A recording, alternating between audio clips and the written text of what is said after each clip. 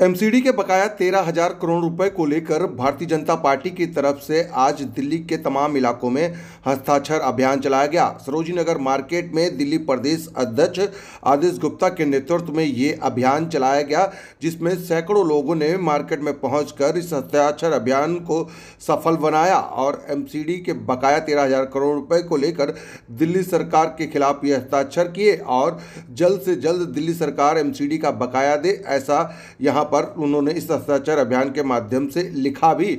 आपको तस्वीरें दिखा रहे हैं सरोजी नगर मार्केट की, जहाँ पर इस हस्ताक्षर अभियान में सैकड़ों लोग मौजूद थे और सभी ने यहाँ पर एमसीडी के बकाया को लेकर मांग करी। आपको बता दें कि दिल्ली सरकार के ऊपर एमसीडी का तेरह हज़ार करोड़ रुपए बकाया है, जिसको लेकर आज हस्ताक्षर अभियान चलाया गया। सरोजी नगर मार्केट के साथ साथ अन्य इलाकों में भी। वापस करो वापस करो तेरह हज़ार करोड़ वापस करो।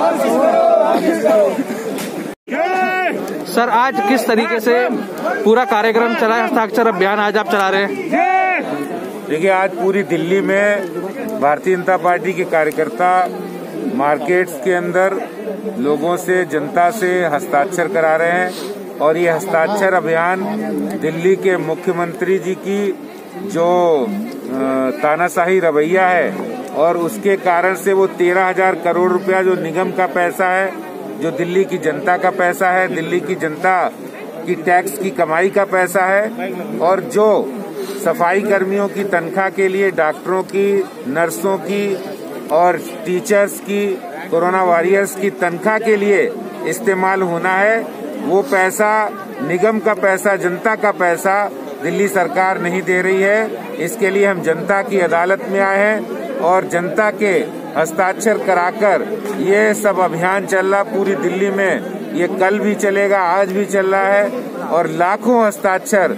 आज जनता कर रही है और वो ये समझ रही है। हम दिल्ली सरकार को भी एक्सपोज कर रहे हैं। अरविंद केजरीवाल जी जब से मुख्यमंत्री बने हैं, तब से पूरी तरह से दिल्ली का विकास ठप हो गया है। ये सब लोग जान रहे हैं और ये हम जनता को बता रहे हैं। सर, एक जगह दिल्ली सरकार ही कह रही है कि ढाई सौ ढाई सौ करोड़ का आपने क्या है? एमसीडी द्वारा किया गया है। क्या उसके बारे में क्या कहेंगे? देखिए, उनके पास कोई मुद्दा नहीं है तो वो एक झूठा मुद्दा बनाकर लाए हैं। ये बात वो खुद भी जानते हैं। और मुझे खुद ही आम आदमी पार्टी के कई पार्षद मिले और वो ये कह रहे थे कि हमें तो मुख्यमंत्री जी और आम आदमी पार्टी ने कहा है कि इस मुद्दे को उठाइए। आपके इस, हमारे इस मुद्दे में सच्चाई नहीं है, लेकिन फिर भी हमें पार्टी ने कहा तो मजबूरी में उठाना पड़ रहा है। ये सब दूध की और पानी, दूध का दूध और पानी की पानी की तरह साफ़ हो गया है कि क्या सच्चाई है और क्या झूठा है। सब दुनिया जान रही है, देश जान रहा है, दिल्ली जान रही है।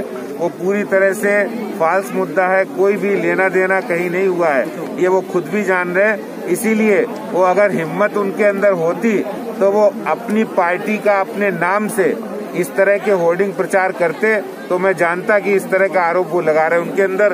ताकत ही नहीं, हिम्मत ही नहीं है, सच्चाई नहीं है।